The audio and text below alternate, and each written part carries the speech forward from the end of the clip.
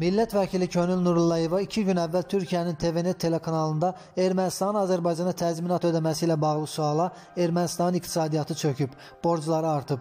Bu durumda Azərbaycana təzminat verilməsi önəmli deyil deyə cavab vermişdi.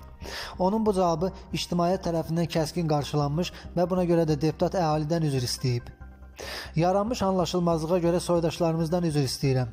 Mənim dövlətimizə və xalqımıza vurulan zərərlə bağlı təzminatın ödənilməsinə dair mövqeyim açıq və aydındır.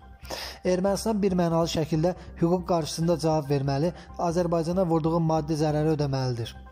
Bu gün təzminatın verilməsi tələbi ilə çıxış etmək üçün Azərbaycanın əlində kifayət qədər arqumentlər var deyə könül bildirib. Qeyd edək ki, dünən Milli Məclisin İntizam Komissiyası Könül Nurullayevaya töhmət verib.